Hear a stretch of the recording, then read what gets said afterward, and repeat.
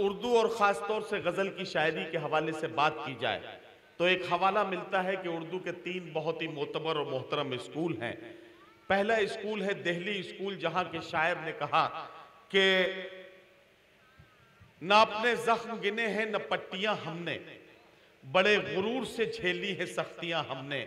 یہ کس نے تازہ ہواؤں کے پر قطر ڈالے؟ بڑے یقین سے کھولی تھی کھڑکیاں ہم نے۔ دوسرا اسکول ہے لکھنؤ اسکول جہاں کے شاعر عرفان صدیقی نے کہا کہ ہوشیاری دل نادان بہت کرتا ہے، رنج کم سہتا ہے، اعلان بہت کرتا ہے۔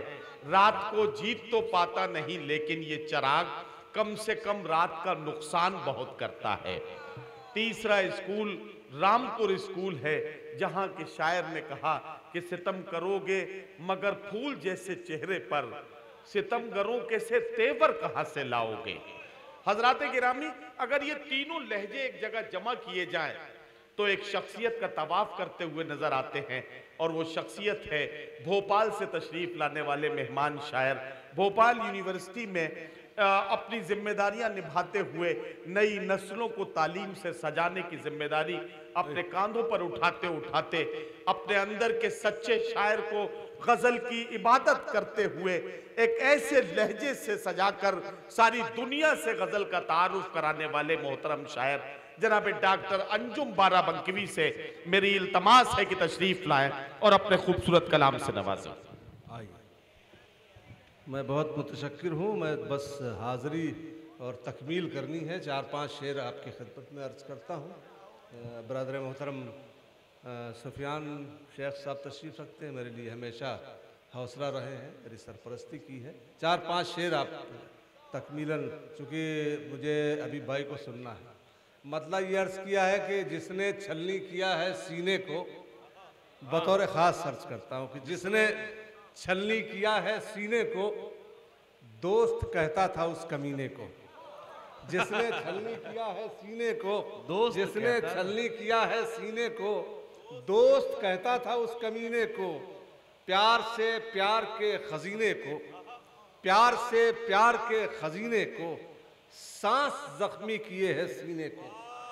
سانس زخمی کیے ہے سینے کو۔ سانس زخمی کیے ہے سینے کو۔ مجھ کو پانی کے نام پر کب سے؟ مجھ کو پانی کے نام پر کب سے زہر ملتا ہے روز پینے کو؟ مجھ کو پانی کے نام پر کب سے زہر ملتا ہے روز پینے کو؟ بطور خاص یہ شعر عرض کرتا ہوں کہ خوشبوئیں اپنا پیر کہتی ہیں۔ خوشبوئیں اپنا پیر کہتی ہیں میرے سرکار کے پسینے کو۔ خوشبوئیں اپنا پیر کہتی ہیں۔ خوشبوئیں اپنا پیر کہتی ہیں۔ میرے سرکار کے پسینے کو، میرے سرکار کے خوشبوئیں اپنا پیر کہتی ہیں۔ میرے سرکار کے پسینے کو، آخری تین چار شعر کہ ہوش والوں کو آزمایا کر، ہوش والوں کو آزمایا کر، بے پیے بھی تو لڑکھڑایا کر۔ ہوش والوں کو آزمایا کر، بے پیے بھی تو لڑکھڑایا کر۔ یہ تیرے ہاتھ ہیں دعا کے لیے۔ یہ تیرے ہاتھ ہیں، دعا کے لیے ان کو کاسا تو مت بنایا کر۔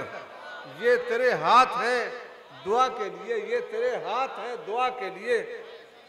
یہ تیرے ہاتھ ہیں، دعا کے لیے۔ ان کو کاسا تو مت بنایا کر۔ سر بلندی کی آرزو ہے تو پھر۔ سر بلندی کی آرزو ہے تو پھر۔ اس کی چوکھٹ پہ سر جھکایا کر۔ سر بلندی کی آرزو ہے تو پھر۔